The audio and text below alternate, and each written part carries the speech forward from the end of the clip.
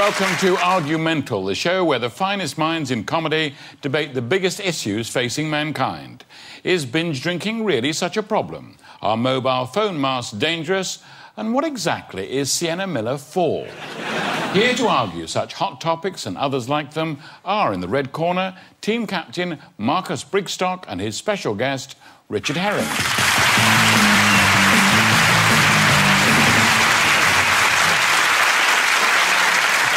And opposing them in the blue corner, Captain Rufus Hound and his special guest, Hugh Dennis.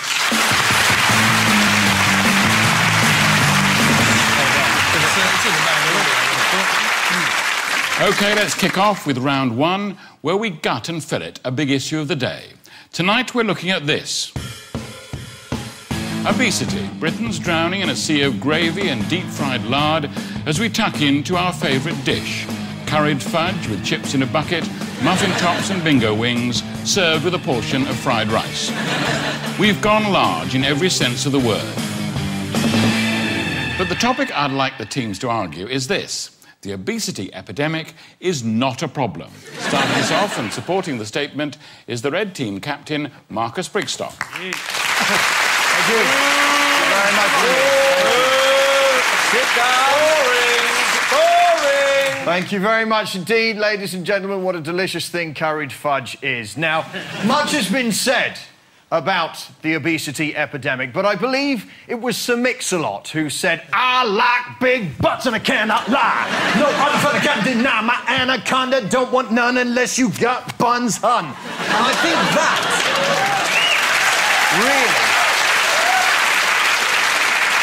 really encapsulates a lot of what my argument is this evening. okay, any minute now, you're going to hear from Mr. Hugh Dennis over there, one of the many body fascists, a man who is 63 years old. But look at him.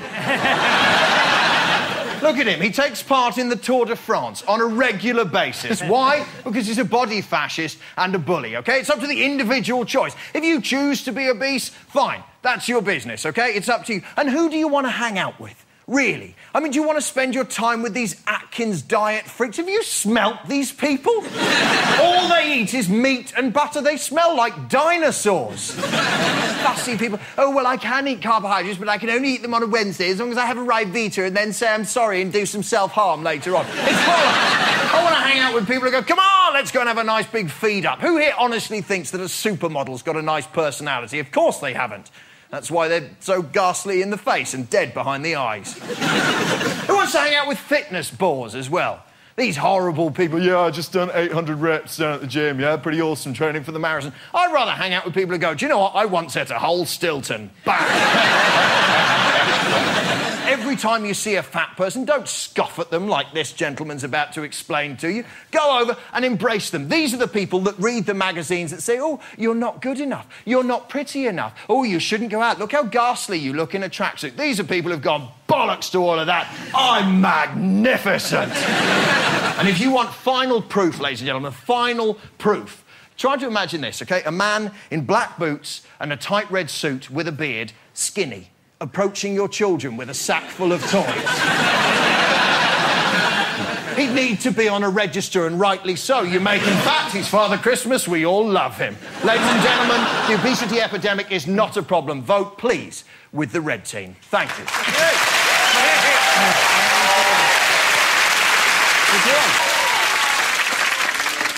Thanks, Marcus. Next up, it's Hugh Dennis. Unleash the fascists.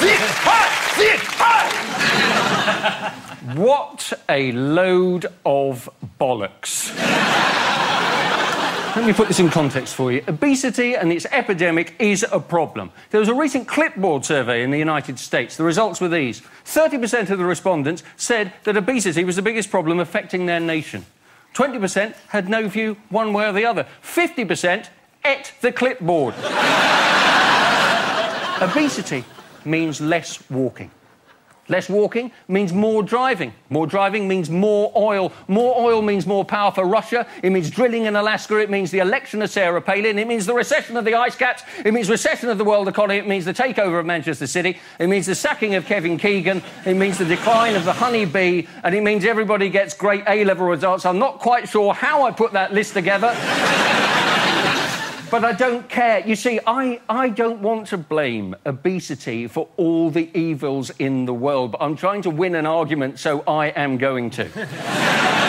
House prices are falling and grain prices are rising. Do you really want to live in a world where the average semi detached costs exactly the same as a loaf of Hovis? Do you want to live in a world where rice becomes so expensive that the free gift in every packet of Rice Krispies is an AK 47 so you can defend yourself on the way home? Ladies and gentlemen, obesity is a terrible problem. I implore you to vote for the blue team.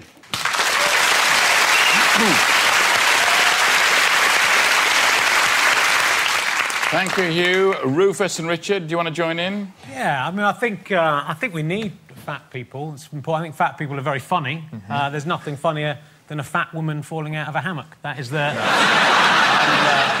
The funniest thing in the world. It is. We wouldn't have that anymore. Yeah. If uh, if fat. And, and I think we, you know, we have the Olympics to celebrate physical extremes, yet we don't understand. To actually become obese is quite difficult. You mm. have to really push yourself to get there. And you don't get any. You don't get any health benefits. Obviously, you don't get the girls like the athletes get. But you really push to, to have that dedication to eat that much. You get to the point where you're so fat you can't even walk anymore, mm-hmm. and you don't think maybe I should go on a diet now. No, you push on. Mm-hmm. Eat more. You and then- cannot be suggesting obesity as an Olympic sport. It's an amazing. Why not? It's an amazing training, as Roy Castle said. Dedication is what you need, and you know, No, donuts are what you need. Bring me a donut. Isn't that an amazing thing to, to die and be so fat that they have to take off a wall of your house and 20 people have to lift you out? Magnificent. Yeah, It's like the, it's the closest you get to being a Viking king. That's what a way to go. At least you've committed, isn't it? Like if, I'm not saying everyone should be obese, but if a few people are I obese, am. they're eating. the few people who are obese can eat all the unhealthy foods, leaving there will be no unhealthy food left, so everyone else will be fit. Exactly. there won't be Yeah, any food left. You talk. There'll, there'll be loads of uh, like celery and stuff for you to eat. Fat people don't like that shit. Exactly. Because it's horrid. It's little more than a vehicle for mayonnaise. I mean, your only argument so far is that fat people falling out of a hammock are funny. Do we need? Are they let any me add to funnier? that. Don't Are need- they any funnier than thin people falling through a hammock? Yes, and let me explain why, okay? Sure, you've got the delight of watching a fat person roll out of a hammock and then, if there's time, betting on which way up they'll land. added to that, and you don't get this with a thin person, you have the pleasure of watching the trees before they go, going, Okay, gentlemen, gentlemen, thank you very much. You've well, heard the on, Mr. arguments. Sergeant, no, no, I'd like no, to know no. which side of this argument you fall on. Hmm. What do you mean? Well, I mean, is obesity a problem? Not for me personally, no. No. you can't have a discussion about perfection. Shush. Uh, you've heard the arguments, so now it's time for our studio audience to decide which team made the best case. If you think it was Marcus and Richard, hold up your red card. And if you think Hugh and Rufus, hold up the blue card. Vote now. That is unbelievable. The other thing is that obesity causes colour blindness. So, a victory for the red team. Well done, Marcus and Richard. I'm sorry, Rufus. Next up is Flip Flop, where we find out how well our teams can argue with themselves. I'll give a player a statement which they must argue for until they hear this sound. At which point they must perform a U turn and argue against it. Then flip flop their argument every time I press the buzzer. Richard and Rufus are playing this one. Rufus, you're up first, and I'd like you to argue that mums are better than dads. Not a hard thing to do, Sarge. Because mums are the best, I think we all know that. Our mums spit us out into the world, and then there we are, mewling and puking. They lift us up, ugly as we are, to their breast. They feed us as we suckle upon them. Uh, I don't know about any men in the room, but there's only one kind of situation where I've had anybody suckling on me, and what I emitted certainly couldn't be described as a nutrient. Uh, dads are, of course, better, uh, is, is the thing. Um, mums worry about us too much. I got married in Las Vegas at very short notice. When we rang both mums, they were in tears asking us why we hadn't invited them. Whereas when we asked both dads, they went, Oh, congratulations. And when we explained we hadn't actually got married yet, they went, Oh. You don't get that with mums. Uh, but what you do get with mums is obviously better because they are better than dads. Uh, women create things uh, like knitting. Uh, but who wants knitting, right, chaps? I think we've all got enough socks and scarves. Uh, but can you ever have too many socks and scarves? yes, you can. The thing dads is that when you're doing your exams at age 13, your mum brings you up a cup of coffee as you're studying late into the night and goes, Look, don't worry about the result, just whatever happens, you try your best. Whereas your dad will come up, knock you out a sly line of Charlie and go, Don't tell your mum. that is why mums and dads are the best!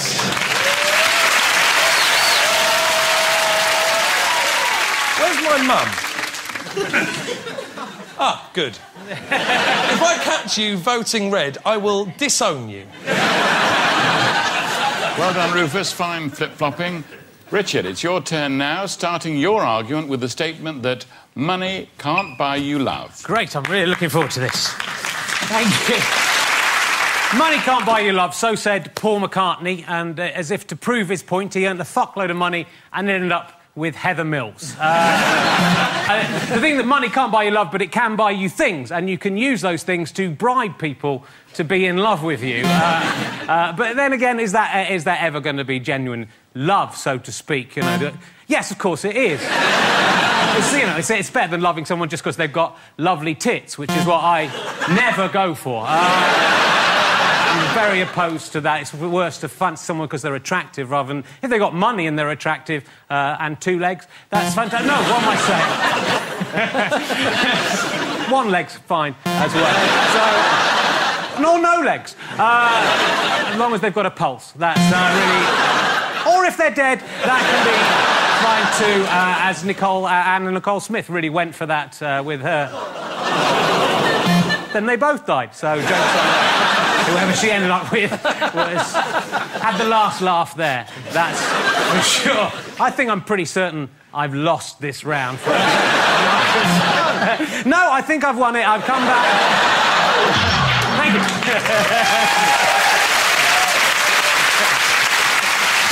Time now to find out who flip-flopped the best. Studio audience, it's red cards for Richard and blue cards for Rufus. Hold them up now, please.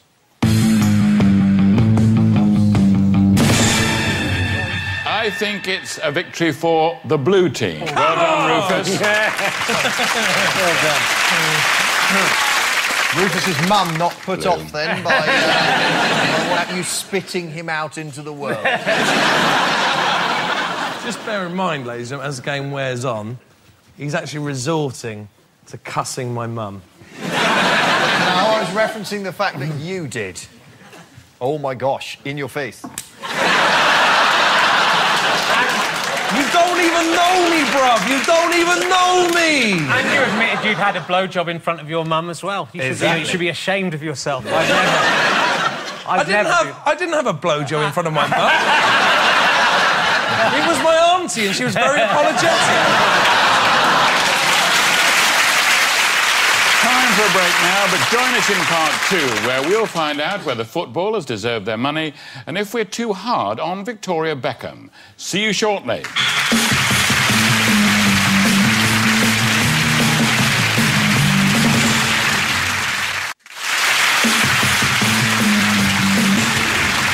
Welcome back to Argumental, the show with more shouting, pointing, and red faced fury than a team talk with Alex Ferguson. OK, next up, it's the slideshow. One member from each team will debate a controversial issue while incorporating into their argument a series of random images that they haven't seen before. Marcus, you're up first, and the topic I'd like you to argue about is this Premiership footballers deserve every penny they get. Here's a picture to start you off.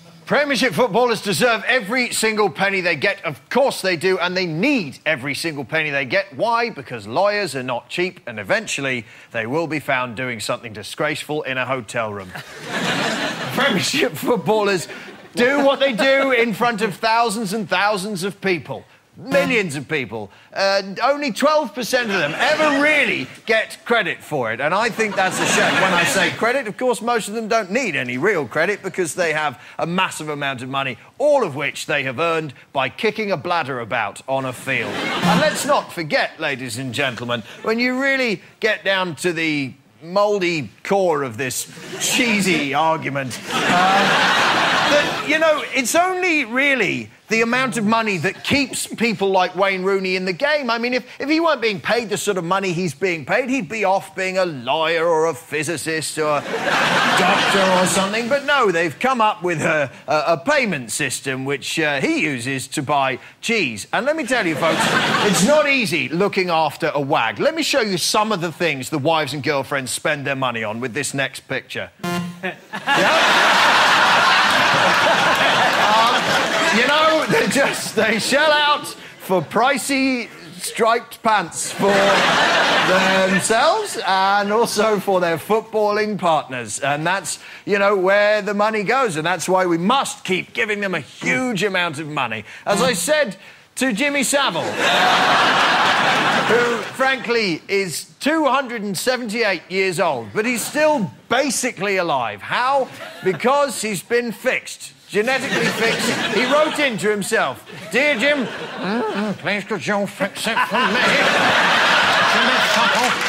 so, stay alive. But you see, were Savile a football player, he would need that money to spend on the cigars that he never ever lights. Why? because his lungs are made of tissue and his hair of flammable hair. no, you're not. There we go.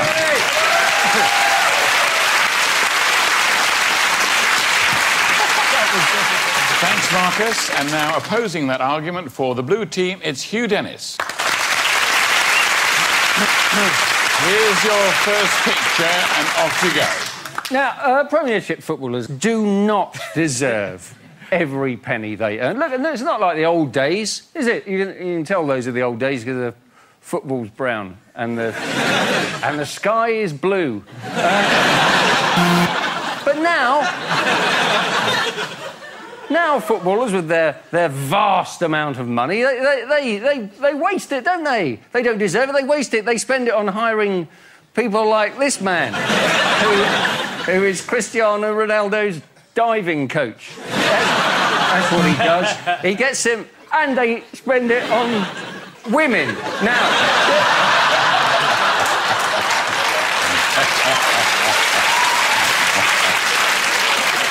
the wags. I mean, it's unfair. This one's a bit of a moose. You know, they're spending their money on pointless, pointless things. Uh, jewellery, trainers. Uh, that might be an elk. I might have been unfair to Abbey Clancy. Anyway, there is a huge lake of money, ladies and gentlemen, which Premiership footballers get, which could be used for other purposes, as illustrated by this next uh, slide.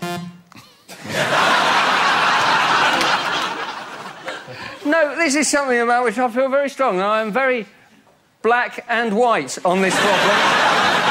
uh, the wages paid to Premiership footballers are appalling. They're, they're bad for crowds, uh, they're bad for the paying television audience, and like Michael Jackson, uh, it, they're, they're very bad for kids. It is an appalling, an appalling state of affairs. The football is no better because the people get paid more.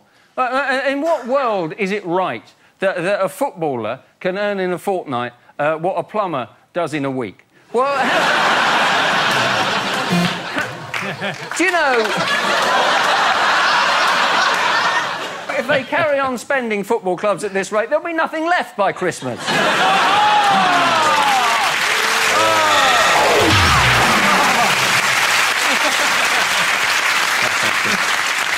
OK, time for our studio audience to decide who made the best case. Remember, it's red for Marcus, blue card for Hugh. Vote now. Oh, that is. We're gonna make it a blue day. It looks like, yes, a win for the blue team. Well done, Hugh.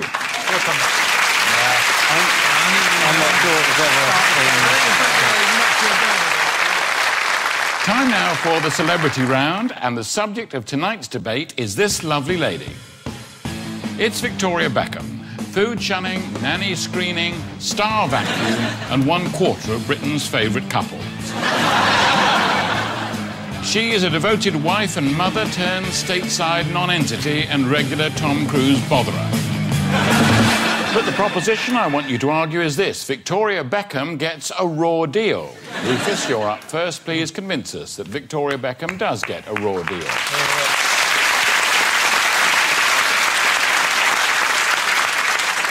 Victoria Beckham does get a raw deal. And who does she get the uh, raw deal from? Well, I'm sorry to break this to you, sisters, but it's women. no man has ever said, I can't believe that bitch has married David Beckham. it could have been me.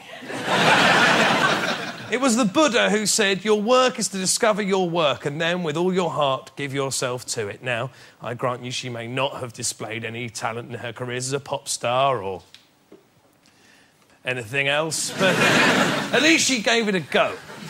It can't be easy realising that your karmic destiny is to wear clothes and have your photos taken whilst you're shopping, all the while making it look as though you have had two wasps sting you on the lips. By which I mean labia. I don't know if you've ever been stung on the labia, but it won't half make you pout. So, let's end the bullying. Let's hold the woman up high and stop giving Posh such a raw deal. Vote blue. I'm true. I thank you.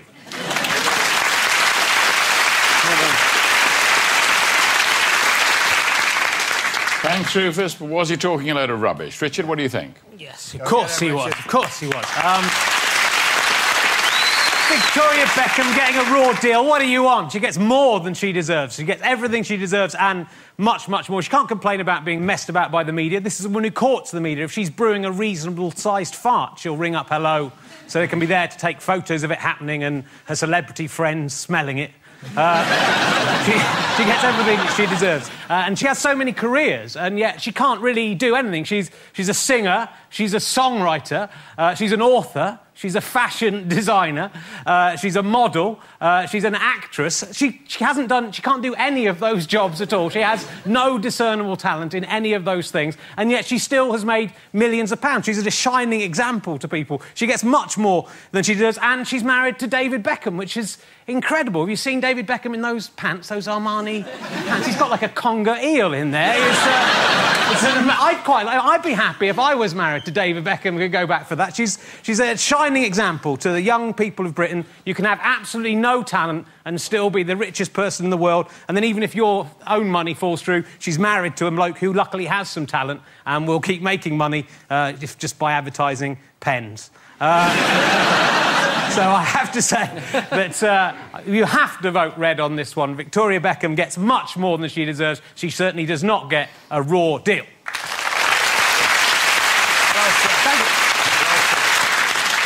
Thanks, Richard. Anyone got anything else to add? You're giving her a raw... She gets a very raw deal because she's never given credit for the things that she's got right. You know, like, for example, they are big friends of Tom Cruise and Katie Holmes, but yet they have never become Scientologists. Yes, they have. Of course they have. Look no, they haven't. It's, a, it, it, it's largely down to David, who thinks that any follower of Hubbard probably has to live in a cupboard. But that...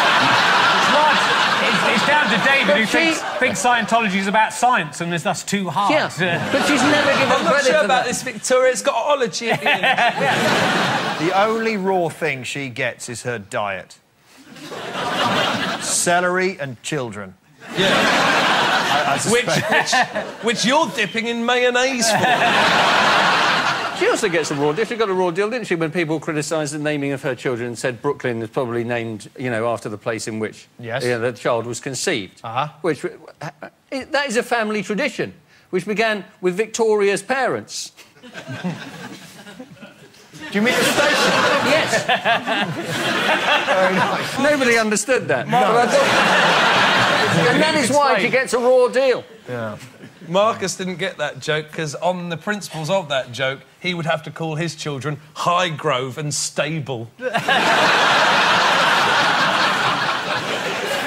I, I, only met Rufus's son once. His name's round the back of a skip. So... but he's a lovely boy. Lovely boy. Okay. Thank you, teams. Well, let's find out from our studio audience who made the best argument. It's blue for Rufus and Hugh, and red for Richard and Marcus. Vote now. That is lovely in red. So that's a victory for the Reds. Well done, Marcus and Richard.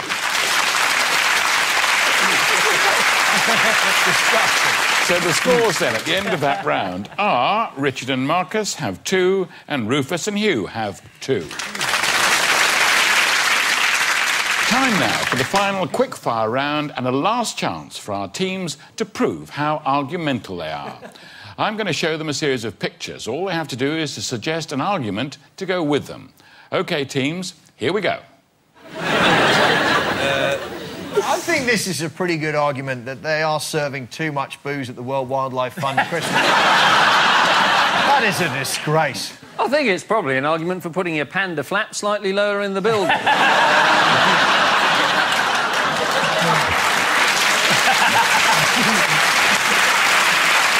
Is it? Uh, I think it's an argument against letting Michael Jackson look after pandas. I, I think this is really an argument that if you're going to sleep with a panda in a hotel room and there's any chance of your wife turning up, have a plan. Think it through. Let's have the next picture. I think it's a fairly good argument for euthanasia myself. It- can, can you argue in favour of an avalanche? You'd have to argue very loudly, and then it- It's a good argument for a summer holiday. OK, the next picture. this is an argument for hope over expectation.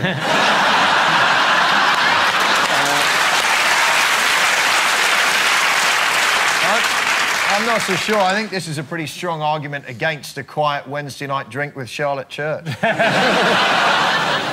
Actually, I have to say, looking at that, that is a pretty strong argument for being a gay man.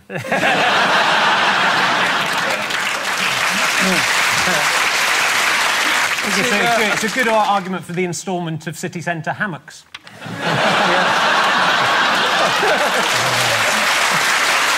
OK.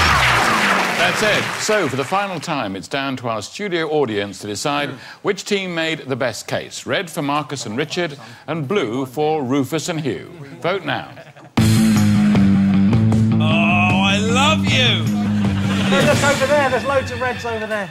So I can tell you, All it's red, the blue all red. team that have won the round, which means that this week's winners are the blue oh, team. a purely unscientific count.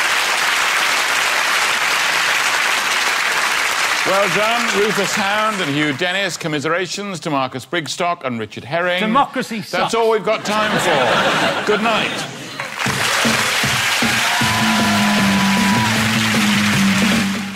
If you enjoyed Argumental, what do I mean if? Of course you did. Then you can find more Argumental related treats on website joindave.co.uk. And next this very night, it's Mock the Week.